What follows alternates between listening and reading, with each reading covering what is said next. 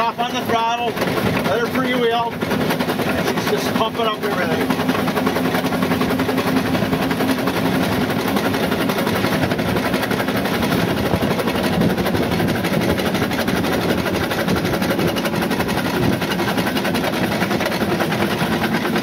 But you just baby it.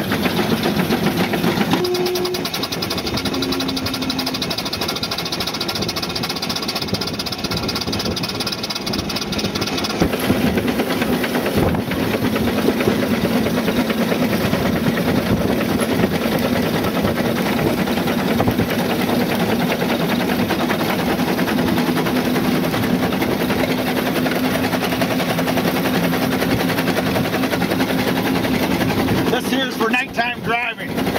Put a, you light it with a match, you know, give you a, it's a carbide generator, a miniature one. You, so you got your lights on the dash so you can see what you got.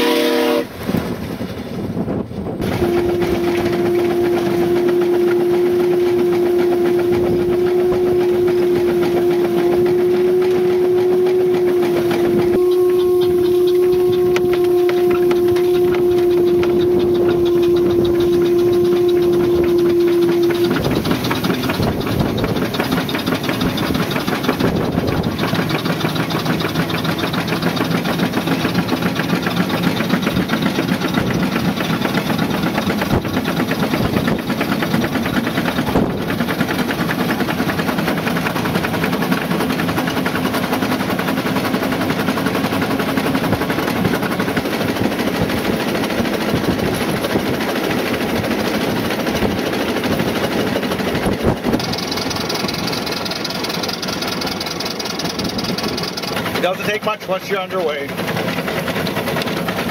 Here, I'll pull. Here, I'll show you something. Now you can see what. Uh-huh. See how the pumps work going down the road? Automatic. Everything hooked right directly to the engine. Pumping all the time.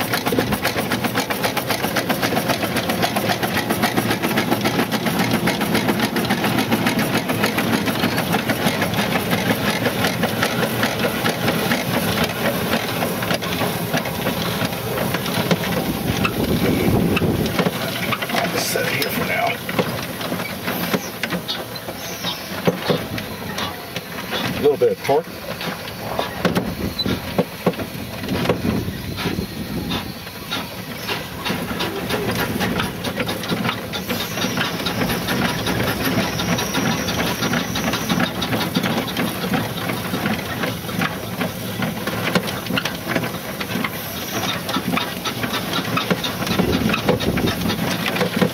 Okay. Pull the brake. Uh, I'm gonna top off the water as the uh, as the pumps have an easier time pumping cold water than it would hot water. As over time, the lower the water tank gets, the warmer that water will get in there. As it's it, you, as it's preheating, because it does recirculate back a little bit. does let a little sneak back. But so on tours, we just stop at houses every so often, get water. Tanks, Yeah, anywhere in there.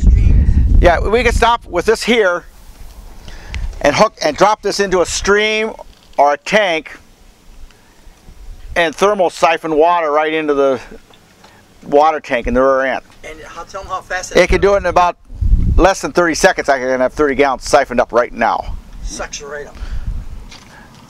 And uh, but you got to be careful. You don't get too much muck. That's why I just like going to the faucets.